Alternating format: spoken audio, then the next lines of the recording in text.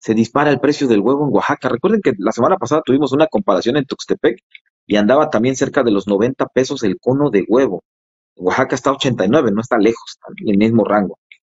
Han surgido fotos de centros comerciales y de veras que ya, disculpe usted la expresión, los frigolitos con huevo, el huevo a la mexicana, el huevo con chorizo, el huevo con jamón, el huevo revuelto, el huevo estrellado, ya pareciera lujo, pareciera que anduviéramos comiendo caviar o algún plato en un restaurante de los más lujosos de la ciudad que usted me diga. 90 pesos un cono de huevo. Estamos en la inflación más grande en la historia de este país, imagínese usted.